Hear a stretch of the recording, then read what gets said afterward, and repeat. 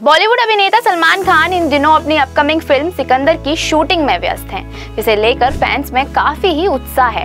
Film का ऐलान होने के बाद से ही इसके रिलीज़ का बेसब्री से इंतज़ार किया जा रहा है और ये फ़िल्म 2025 में पर्दे पर आएगी।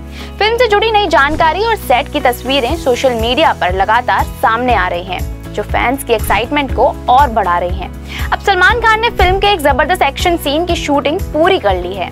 सिकंदर का निर्देशन ए आर मुरुगदास कर रहे हैं और 25 नवंबर को सलमान ने फ़िल्म का एक्शन सीन शूट किया।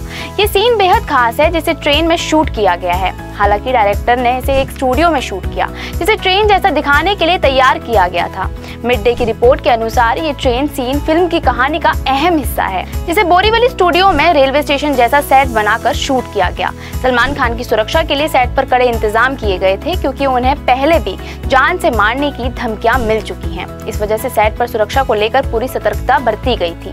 सेट पर सिर्फ़ 350 लोगों को इजाज़त दी गई थी। लेकिन सलमान ने सिर्फ़ 30 लोगों के साथ शूटिंग की, बाकी के सीन डायरेक्टर ने अलग से बाकी टीम के साथ शूट किए। सलमान खान की ये फ़िल्म अगले साल ईद पर रिलीज़ होगी और इस फ़िल्म में रश्मिका मंदाना भी नज़र आएँगी। ऐसी ही और भी वीडियोस को देखने के लिए फॉलो और सब्सक्राइब करें इंस्टा फ़ीड को।